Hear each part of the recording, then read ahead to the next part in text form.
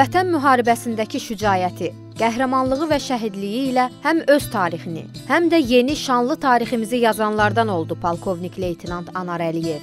Naxçıvan əlahiddə ümumqoşun ordusunun xüsusi təyinatlı zabiti Cəbrayıl, Qubadlı, Zəngilan uğrunda döyüşlərdə xüsusi təyinatlı komandir kimi ön cərgələrdə vuruşaraq şücaət göstərdi.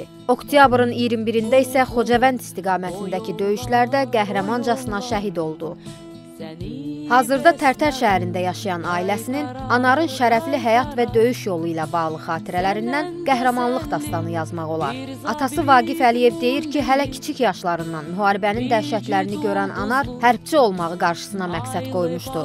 Yüksək ali təhsil alan, xarici ölkələrdə hərbi təlimlər keçən oğullarının hara getsə oradan hər zaman başı uca qayıtdığını deyir ata. Elə vətən müharibəsində də başımızı uca etdi. Bu dəfə tək ailəsinin deyil, xalqının da başını, qürurunu ucaldaraq şəhidlik zirvəsinə yüksəldi. Onun əsgərləri də həmişə onun vətənpərvər bir zabit olduğunu haqda danışırdılar.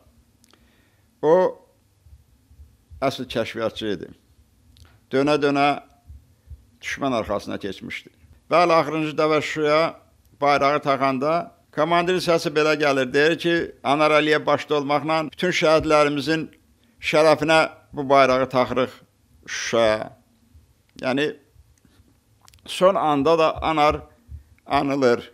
Ali Baş Komandanımız Prezident İlham Əliyevə öz təşəkkürümü, minnətdarlığımı bildirirəm ki, Onun sayəsində bütün torpaqlarımız azad oldu, düşmən işğalından azad oldu və balamızın arzusu gözündə qalmadı. Anar doğulduğu Kəlbəcərə bayraq sancmağı çox arzulasa da, bunu onun silahdaşları, Azərbaycan əskərləri yerinə yetirdi. Anası Səkinə xanımın indi təsəllisi bütün torpaqların işğaldan qurtarılması ilə oğlunun da ruhunun şad olmasıdır. Onun e, təcrübəli bir hərbiçi olduğunu, təcrübəli bir kəşfiyyatçı olduğunu bilirdim. Ona görə elə bil ki, biraz arxayınçılıq da məndə yarandı. Ancaq yenə də ana ürəyində bir təlaş var idi. Mən onun niyyətini dəqiq bilmirdim. Sonra deyib ki, bəs mən niyyətim Kəlbəcərə bayraq sancmaqdır. İndi balam şəhiddir. Torpaq uğrunda şəhid oldu. Bu torpaqlarına bizim balalarımızın qanı axıb. Müqəddəs torpaqlardır. Bütün şəhidlər anaların qardaşlarıdır, kiçik qardaşlarıdır, böyük qardaşlarıdır. Bu gün mən bütün şəhidlərin anasıyam.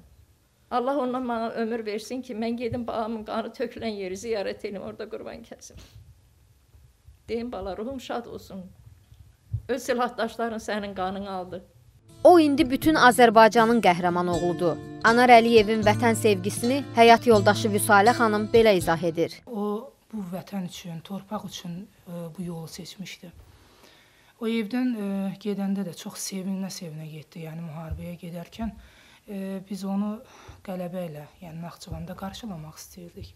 Amma çox təəssüf ki, onu biz cənazəsini qarşıladıq burada.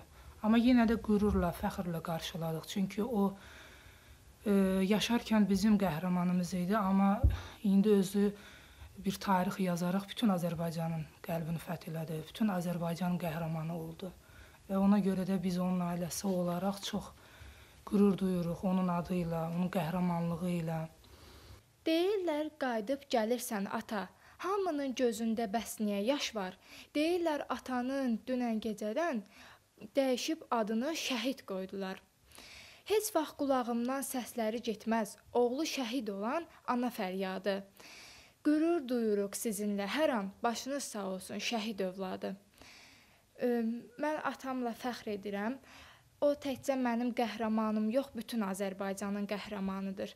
Mən onunla həmişə fəxr etmişəm və fəxr edəcəyim də. Mən də atam kimi böyüyəndə əskər olacağam və onun yolunu davam edəcəm.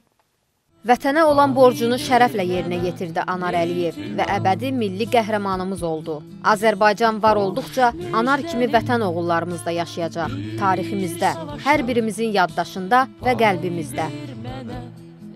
enough.